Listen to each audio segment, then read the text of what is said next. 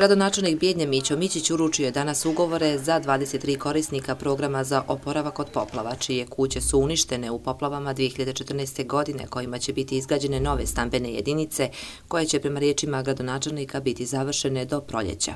To se nije moglo prije uraditi, ali zahvaljujući sredstva Evropske unije i UNDP-u, mi smo potpisali ugovor gdje će onda potpuno izgradimo, ali gradska uprava je dužna da obezbedi placak gdje nema i infrastrukturu i 5000. Ukupna vrijednost izgradnje ovih stambenih objekata iznosi oko 900.000 konvertibilnih maraka, od čega 200.000 konvertibilnih maraka izdvaja gradska uprava, a ostatak UNDP, preko donatora, prije svega Evropske unije. Ovi 23 u okviru projekta gdje smo dobili 46 kuća koje se prave na novo i više od 100 Eh, renoviranja kuća, to je ovaj, ovaj iz zadnjeg poziva koja je bilo iz sredstava za obnovu i izgradnju kuća oštećenog poplavom.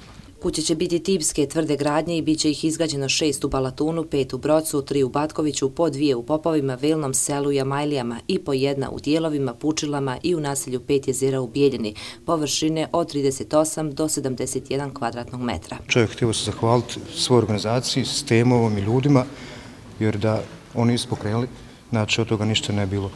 To je to, puno hvala. U poplavama ste oštećeni? Da, da, da. Pa cijelokupno, cijelokupno, cijelo domaćinstvo, u suštini, puno hvala. Cijelokupan projekat implementiraju Gradska uprava grada Bijeljina i razvojni program Ujedinjenih nacija u Bosni i Hercegovini.